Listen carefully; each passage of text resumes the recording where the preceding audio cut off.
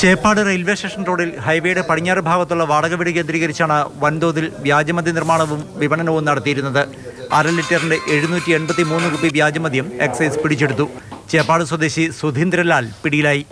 മൂന്ന് മാസം മുൻപാണ് വീട് വാടകയ്ക്കെടുത്തത് ഇവിടം കേന്ദ്രീകരിച്ച് വ്യാജമദ്യം ഉൽപാദനവും വിപണനവും നടക്കുന്നതായി എക്സൈസിന് വിവരം കിട്ടിയിരുന്നു. ഇതേ തുടർന്ന് നടത്തിയ നിരീക്ഷണത്തിനൊടുവിലാണ് പിടികൂടിയത്. ഇവിടെ ഉൽപ്പാദിപ്പിക്കുന്ന വ്യാജമദ്യം വിതരണം ചെയ്യാനും ഉൽപാദനത്തിൽ സഹായിക്കാനും ഏതാനും പേർ സഹായികളായി ഉണ്ടായിരുന്നു. ഇവരിൽ ചിലരെക്കുറിച്ച് എക്സൈസിന് വിവരം ലഭിച്ചിട്ടുണ്ട്. ആലപ്പുഴ സ്ക്വാഡ് സി എക്ക് കിട്ടിയ രഹസ്യ വിവരത്തിന്റെ അടിസ്ഥാനത്തിൽ അത് ഡെവലപ്പ് ചെയ്ത് ഒരു മാസത്തോളം സ്ക്വാഡിലെ ഷാഡോ ടീം നിരീക്ഷണം നടത്തിയതിൽ ആണ് ഇങ്ങനെ ഒരു കേസ് നമുക്കിവിടെ കണ്ടെത്താൻ കഴിഞ്ഞത്. അപ്പോൾ ഇന്ന് വെളുപ്പിനെ ഈ വീട് പരിശോധിച്ചതിൽ വീട്ടിൽ നിന്നും ഏകദേശം എഴുന്നൂറ്റി എൺപത്തി മൂന്ന് കുപ്പി വിദേശ മദ്യം കണ്ടെടുത്തിട്ടുണ്ട്.